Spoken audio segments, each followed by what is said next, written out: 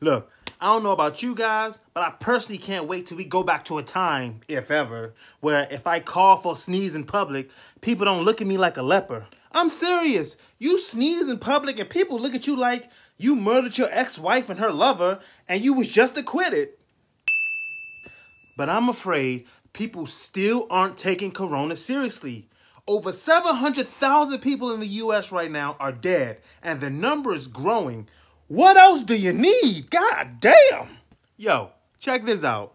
I overheard a conversation with two people talking and one person was just like, yeah, you know, I just got over COVID.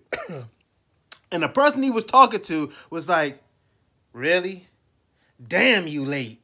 COVID was so 2020. What? People are still out here dying and you treating COVID like it's a fucking trend. Yo, this how bad Corona is. Corona is so bad, Trump is out here getting booed at his own rallies for telling people to get vaccinated.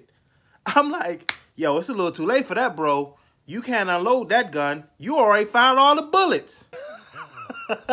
Yo, this shouldn't be as funny as it is, but I understood what she meant in a fucked up kind of way. I heard this one white woman say recently, I can't wait for the day where I can stop being afraid of everybody and just go back to being afraid of black people. What?